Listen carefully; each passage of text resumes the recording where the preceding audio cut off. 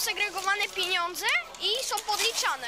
Złotówki, 2 złote, e, groszówki, 10-groszówki, 20-groszówki i 5-groszówki. Jak obstawiasz, ile zebrałeś pieniążków?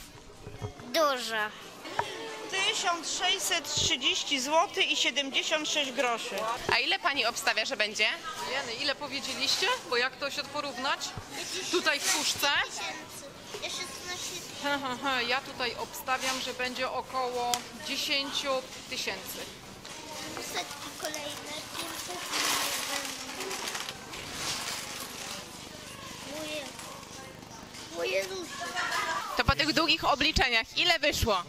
10 364,28 i z e-skarbonki 430 zł.